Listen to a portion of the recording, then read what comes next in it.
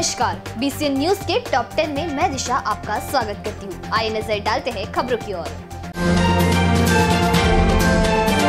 Share बाज़ार हरे निशान में सेंसेक्स 178 अंक की तेज़ी के साथ खुला।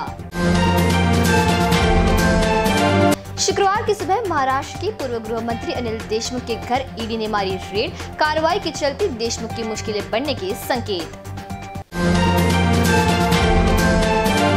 देश में कोरोना के छह लाख बारह हज़ार आठ सौ अड़सठ एक्टिव केस, कुल संक्रमितों की तादाद तीन करोड़ पार। देश में कोरोना के इक्यावन हज़ार छह सौ सड़सठ नए मामले, पिछले 24 घंटे में एक हज़ार तीन सौ उनतीस की मौत। गुरुवार को शहर में सामने आए कोरोना के 46 नए मामले, एक कोरोना संक्रमित ने गवाई जान। वैक्सीनेशन पर फिर ब्रेक टीके का फिर हो गया टोटा, युवाओं के उत्साह पर फिरा पानी। अंततः साई मंदिर से अजीत स्टेशन तक सड़क विस्तार डबल डेकर फ्लायर के पास आज की टूटेगी दीवार।